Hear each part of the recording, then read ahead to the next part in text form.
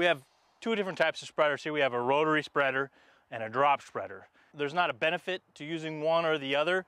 Uh, rotary spreader, we can cover a lot more ground in a shorter amount of time because we have a, a wider area of spread. The drop spreader, we can control where the fertilizer goes a little bit more precisely. So this is great for areas working next to the street or areas where we got uh, surface waters, ponds and streams and stuff, we can get fertilizer down without worrying about throwing fertilizer into those ponds and streams uh, or out into the street. With both spreaders, the amount of product that you put down depends on how fast you walk. If you have a very long stride and walk very fast, you won't put as much material down, or if you're a person that uh, walks slower and doesn't cover as much ground in the same amount of time. So each spreader needs to be calibrated for each person operating the spreader.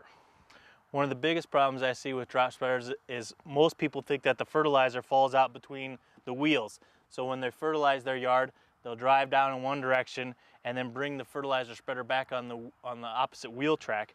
When in reality, the fertilizer falls out from between here and here. And so there's a gap of two or three inches on each side where no fertilizer falls out. So when you're fertilizing the yard, you need to overlap your wheel tracks to make sure you have a uniform coverage across the yard.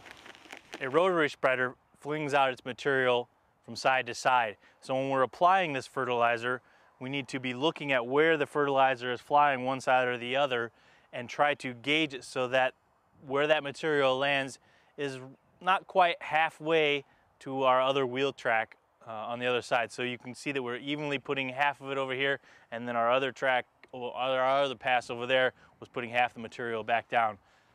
With that need to see where the fertilizer is being applied with a rotary drop spreader and even with a drop spreader, it makes it beneficial to apply our fertilizers early in the morning when we have some dew on the grass so we can see where our wheel tracks and where our footprints are in the yard. For more information, visit your local extension office or visit our website.